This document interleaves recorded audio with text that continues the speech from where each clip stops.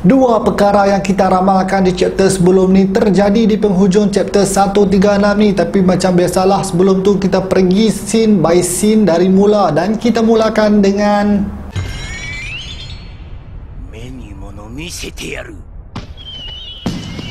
Tajuk chapter ni ialah Shinzo wo Sasageo Devote your hearts. Rainer bebai dengan Annie sebab bawa Gaby sekali. Tapi Gaby cakap dia pun nak lawan juga. Dan oleh kerana Falco transform Kapal Azumabito tenggelam. Tapi mereka selamat sebab ada perahu. Mereka korbankan kapal mereka untuk menghantar skuad penyelamat. Dan macam Erwin kata Kalau nak menang, kenalah korban senting kan Falco masih lagi pegang janji dia terhadap Rainer untuk melindungi Gaby. Sweet moment bukan setakat tu saja. Aku pakai t-shirt warna pink sebab banyak sweet moment. Bukan saja-saja. Annie nak tanya pasal Armin tapi dia malu-malu. So dia tanya mana pink? Mikasa pula tak chill. Dia dah tahu Annie suka dekat Armin. Dia pun terus bagi tahu yang Armin ditelan oleh Titan.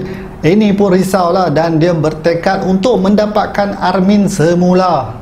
Levi bertindak memberi arahan sebab Armin tak ada kat situ. Mereka ni kena berpecah kepada dua grup. Satu selamatkan Armin dan satu lagi letupkan leher Founding Titan. Mikasa tak mau lakan sebab takut Eren mati. Tapi mereka ni memang serius dah tak ada pilihan lain. So Mikasa kenalah terima yang Eren patut dibunuh.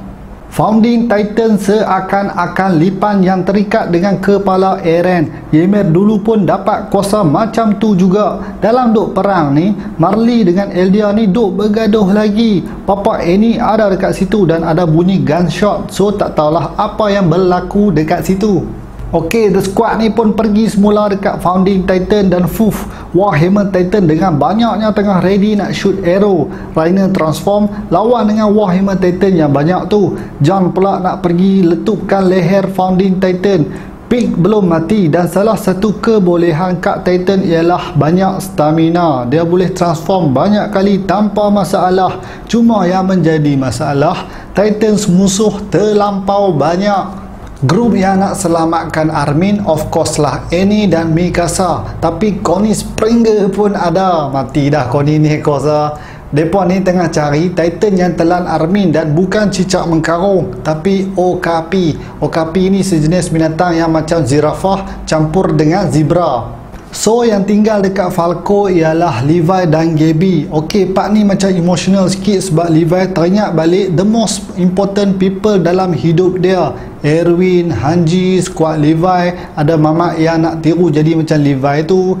Petra, lepas tu mamak yang kena makan dengan Shy Titan yang duk Bau-bau tu pun ada juga. Kira semua ni legend ahli survey corp lah Levi ni tetap nak tunaikan janji dia dekat Erwin untuk bunuh Zeke tapi kaki dia dah barai so dia tak rasa dia mampu. Dan nampak gaya macam Levi ni tengah cari cara untuk mati dengan bergaya tanpa penyesalan macam Erwin dengan Hanji dulu. Levi ni juga tak menyesal pilih Armin bukan Erwin sebab dia still nampak Erwin dalam mata Armin Berbalik pula dekat Annie dalam form female Titan. Yang Titan Okapi tu lari nak pi dekat kepala founding Titan. Kat sini kita nampak gandingan power Mikasa dan Annie Annie punya tendangan maut tu pun buat comeback. Dan nampak gaya Annie kena lawan dengan Bertol punya Colossal Titan Okey, sampai dekat part yang kita ramal sebelum ni. Armin dibawa ke The Path Mungkin untuk slow dengan Eren dan Ymir Lagi satu ramalan yang mengena ialah Zeke Yeager telah pun dijumpai. Tengah relax seorang-seorang duk main pasir. Zeke cakap dekat Armin So, awak pun dimakan oleh Ymir jadi adakah Zik ni pun dimakan oleh Ymir? Kira Zik ni ada dalam mana-mana mulut Titan yang banyak-banyak tu dan adakah Eren dikawal oleh Ymir?